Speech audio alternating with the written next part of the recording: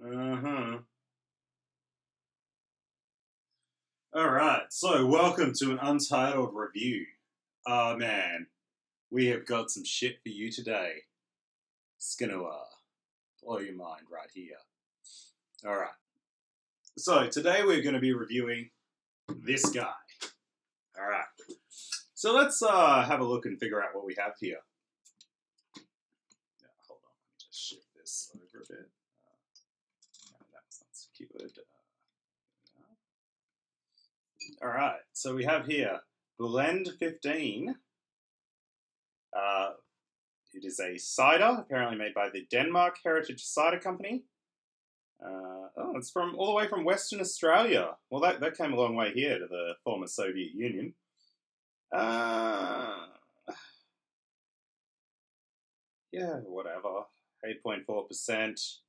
Something, something called a pomage is involved here. One pomage, please. Um, ordinary apples don't make the grade for heritage cider.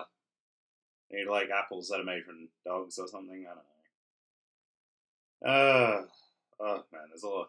I don't know. Five standard drinks. All right. So let's let's uh, continue on here um, to the opening. So what I'll say is this probably is the most expensive liquor product that I've ever reviewed on uh, Untitled. Thanks to all our sponsors, uh, which is well, actually we're on the YouTube, so the sponsors are uh, you guys.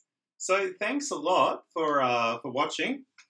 So far, the revenue for uh, this channel is hovering around 60 cents. It's not going much further, but I figure this video might tip it over to like 50 bucks, and then I can buy another couple of bottles of this. It'll be all right. Okay, so um, yeah, all right. Let's let's open this thing up. Hold on. Yeah, that, that's uh, we, need this in frame right here. Cool. Oh yes. Okay, so here we go. Alright, so that's off the top. Ready? Shit, man. Oh, yeah. Okay.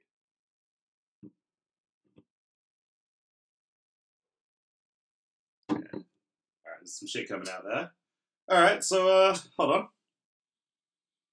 So it smells like a an incredibly sweet cider.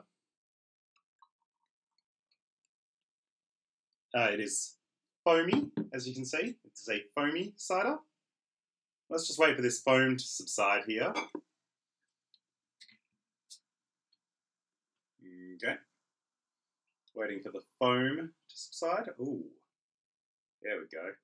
Alright, so it is uh, a light, a light piss colour. Okay, let me try this out here. Oh wow. That is incredibly flavorless. Okay, so this is an extremely mild cider. Um, mm. uh, it reminds me of Somersby cider, which is probably one of the cheapest ciders I've ever had, whereas this is one of the most expensive ciders I've ever had.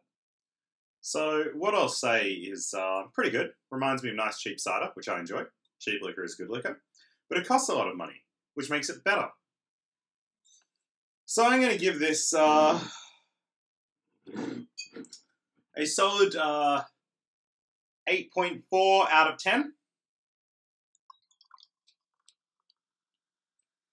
For being both tasty and expensive. Tastes like cheap cider, but it costs more.